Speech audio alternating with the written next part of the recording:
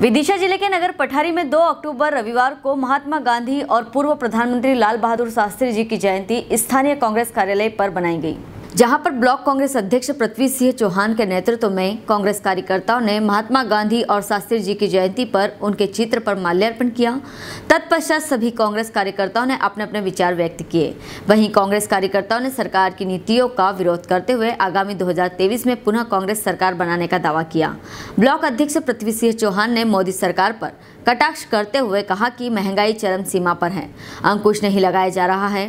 Petrol, diesel, gas cylinder आदि जो रोज की सामग्री है उस पर दिन प्रतिदिन महँगाई बढ़ती जा रही है। इस अवसर पर सभी संगठन के अध्यक्ष एवं पदाधिकारी मौजूद रहे। विदिशा से आशीष सहले की रिपोर्ट। भारत माता की जय। कांग्रेस पार्टी जिंदाबाद। समस्त मेरे पदाधिकारी और सभी साथियों के लिए मैं सादर प्रणाम करता हूँ।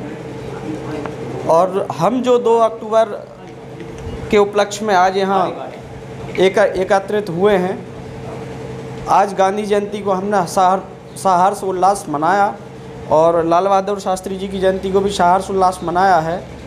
और बस यही कहना चाहूँगा कि ऐसे ही आगे हम सब कार्य करते रहें। अक्टूबर महात्मा गांधी जी की जयंती के उपलक्ष्य में हम सब समस्त ब्लॉक कांग्रेस कमाट कमेटी के कार्यकर्ता हमारे निज निवास पर एकत्रित होकर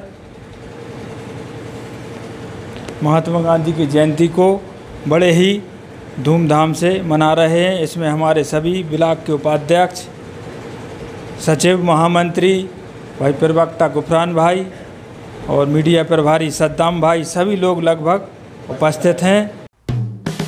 हेलो फ्रेंड्स आप देख रहे हैं हमारा channel S W twenty four news हमारे सारे वीडियो सबसे पहले देखने के लिए आप हमारे चैनल को सब्सक्राइब करें और पास में लगे बेल आइकन को दबाना बिल्कुल भी ना भूलें।